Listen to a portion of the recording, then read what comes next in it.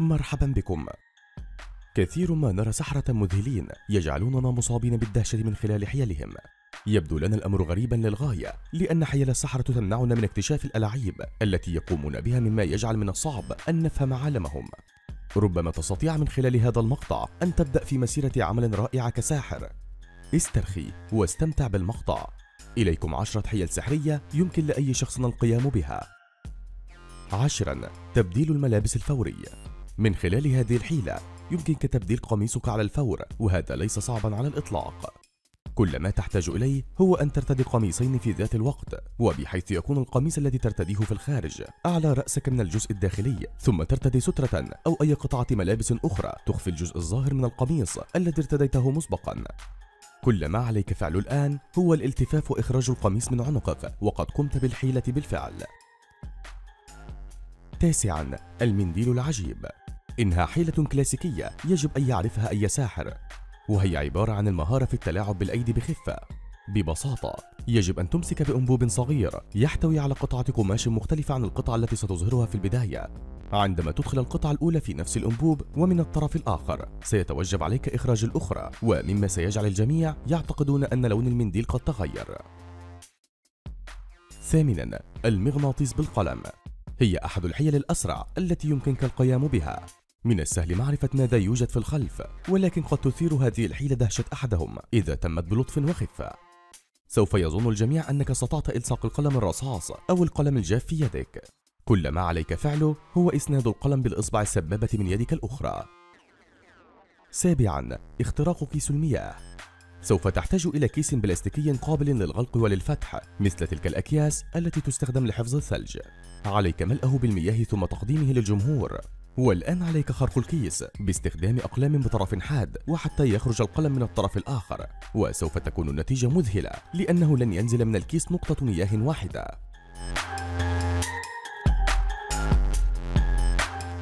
سادسا تقسيم ثمرة التفاح إلى نصفين.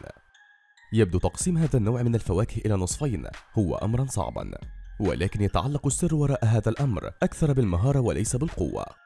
أولا عليك وضع إصبعي الإبهام في مركز الجزء الأعلى من الثمرة ثم عليك الضغط باتجاه الخارج في الاتجاهين وسوف تجد أن الثمرة قد انقسمت إلى نصفين بسهولة. خامسا قطع إصبع الإبهام. وحتى تكون تلك الحيلة بالكفاءة الكافية عليك القيام بها في مواجهة الجمهور وحتى لا يشاهدون كيفية القيام بالحيلة بسهولة. تتم هذه الحيلة عن طريق إقناع الجمهور أن إصبع الإبهام في أحد أيديك هو في الحقيقة إصبع الإبهام لليد الأخرى. في حين أنك من أجل القيام بذلك عليك طيك للإصبعين وتغطية المنطقة التي يتداخلان بها بإصبعي السبابة ومركز اليد التي يوجد بها الإصبع. يمكنك مشاهدة كيفية ذلك في المقطع. قم بممارسة الحيلة واطلب من أحد أصدقائك أن يعطيك رأيه في الحيلة. رابعا الورقة المحلقة في الهواء. ومن أجل جعل الجميع يصدقون أنك تتحكم في ورقة وتجعلها تحلق في الهواء. كل ما تحتاج إليه هو ورقة مخرومة من مركزها ثم عليك ربطها بخيط وتعليق الخيط في يدك. لا يحدث كل خيط نفس التأثير ولكن يعتمد الأمر على اللون وما يمكن أن يدركه الآخرون. تقوم بعض المتاجر المتخصصة ببيع خيوط لا ترى بالعين وهي الخيوط التي ينصح باستخدامها في هذه الحيلة. لا تستخدم خيطا أبيضا وتصرف بثقة حتى يقتنع الجميع بالحيلة. ثالثا التحريك الذهني. في هذه الخدعة عليك إقناع الجميع أنك قد قمت برفع كوب في الهواء ويجب أن يكون من البلاستيك أو الكرتون لأن أول ما علينا فعله هو ثقبه من المركز من أحد جوانبه بمساحة كافية وبحيث يمكن إدخال إصبع الإبهام. والآن عليك إظهار الكوب من الجهة السليمة وعلى أن يكون إصبعي الإبهام داخل الكوب من الخلف. وبالتالي سوف يبدو الكوب كأنك تتحكم به وتجعله معلقا في الهواء من خلال التحريك الذهني. ثانيا تجميد المياه. في هذه الحيلة عليك وضع عبوة من المياه لمدة ساعتين ونصف في المبرد وعلى أن تكون درجة الحرارة أقل من 18 درجة مئوية. أهم ما في الأمر هو أن تكون المياه على وشك التجمد وبعد هذا الوقت من الانتظار عليك إخراج العبوة بعناية وخبطها هكذا. سوف يندهش الجميع عندما يجدون أن المياه تتجمد شيئا فشيئا في خلال ثواني. يبدو الأمر وكأنه من الخيال العلمي. أليس كذلك؟